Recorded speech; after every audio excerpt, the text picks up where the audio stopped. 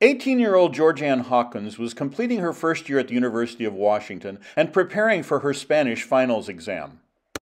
On the evening of June 10, 1974, she attended a party with a sorority sister and dropped in on her boyfriend to say goodnight at his Beta Theta Pi fraternity house. She picked up some revision notes from him for the exam.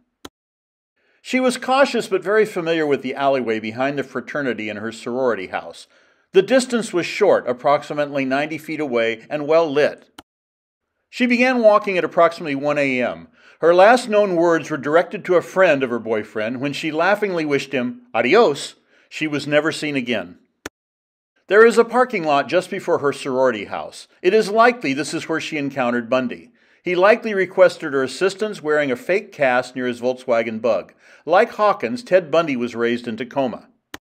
He then probably knocked her unconscious and drove her away. Bundy would provide sketchy details about her killing before his own execution. He claimed that he dumped her remains along with two other victims in Issaquah.